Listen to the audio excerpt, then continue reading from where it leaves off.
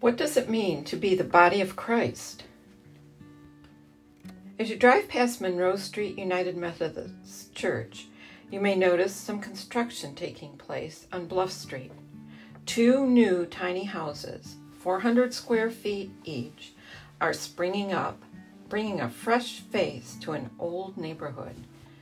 These tiny houses are the building blocks for what will soon become Bluff Street Village. Bluff Street Village was inspired by the tiny homes that Cass Community built in Detroit.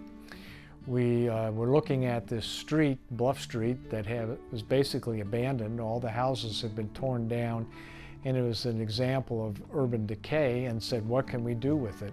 And it just seemed like the idea of the tiny homes for low-income people made lots of sense, especially the idea that they could become homeowners the vision of Bluff Street Village has inspired some in our church to get involved. I am passionate about uh, Bluff Street because uh, it's the most uh, act, action oriented event. I think it's a fabulous ministry that uh, Larry has created that uh, can help folks who are really financially marginalized and help them to build to become more self-sufficient and build equity uh, in themselves and in, in their future. I really love the Bluff Street project because it's so tangible and so practical. This is an opportunity for us to give back to our own community in a way that we can see and feel a part of. It takes a lot of people to make a mission like Bluff Street Village come to life. Financial gifts are an important part of the mission, but there are many other ways to contribute as well. I like I like building things and and uh, helping folks out, and I think it's just a really really awesome, worthwhile cause. Well, so far it's just been fairly um, minimal with just helping Larry uh, get insulation uh, on the walls. As a group, quilters love to make quilts for people because it's a way to show love and literally they can wrap themselves in something that was made with love.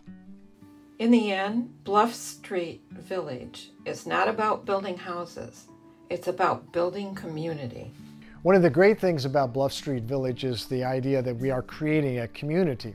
We're not just having people rent houses, but we're having people learn to live together as, as a community. They will be a part of a, a tenants association, which will eventually become a homeowners association as they uh, own their homes after seven years. They will meet together to uh, attend uh, workshops. Uh, they will hopefully help each other out uh, on life issues as they learn and grow together. And feature of the neighborhood is that right in the middle of the block there'll be a small neighborhood park which folks can gather at. And of course, each of our houses have front porches on them, and we're going to encourage folks to sit out front so that they can say hi to one another as they go up and down the street. This is one way Sylvania First is living out our mission building life changing relationships through and with God.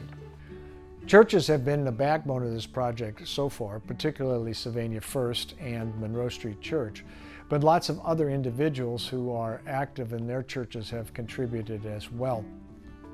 So if churches want to be involved, they can sponsor a whole house or they can contribute uh, toward the furnishings of the house. We'll have different ways for churches to be engaged uh, as they uh, see the vision and want to be a part of it. This is what it means to be the body of Christ.